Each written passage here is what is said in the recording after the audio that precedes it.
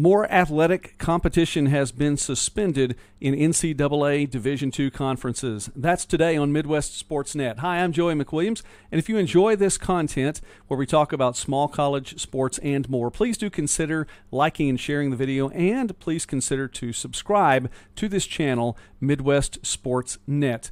Well, over the last two days, three more Division II conferences have made the decision to suspend and or postpone athletic competition through the end of the calendar year 2020. The GLIAC, the Great Lakes Intercollegiate Athletic Conference, on Wednesday made that announcement, and on Thursday, the Mountain East made a similar announcement. Thursday morning, the Northern Sun Intercollegiate Conference made an announcement, and it started like this In light of the NCAA Board of Governors' decision to direct all institutions and conferences to meet specific requirements to conduct fall sports, and the NCAA Division II President Council's announcement that all NCAA Division II fall championships are canceled, the Northern Sun Intercollegiate Conference's Board of Directors has canceled the NSIC fall competition and championships and has suspended all athletic competition through December 31st, 2020.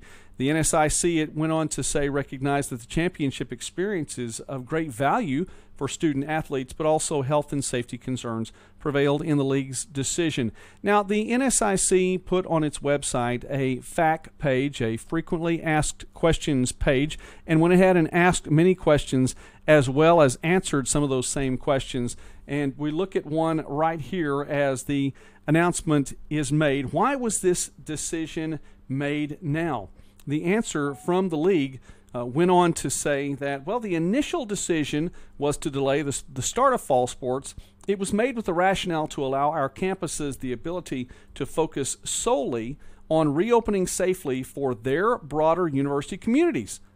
In light of the recent decisions made by the NCAA Board of Governors to direct all institutions and conferences to meet specific requirements to conduct fall sports, it is no longer feasible to conduct outside competition this fall semester. So, again, to reiterate, the decision initially was made with the rationale, with the idea that campuses had the ability to focus on their individual campuses, focus on safely reopening those campuses.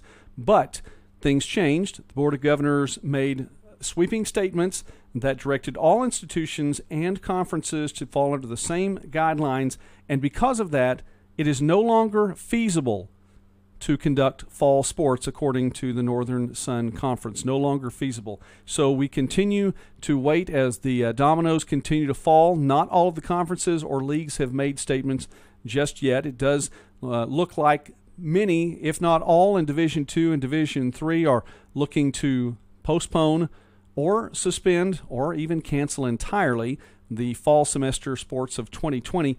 We're yet to have heard, however, from the MIAA or the Great American Conference, and we wait decisions from each one of those two leagues. We'll get back to you with information from them when that information is available. In the meantime, thanks for watching this today here on Midwest Sports Net.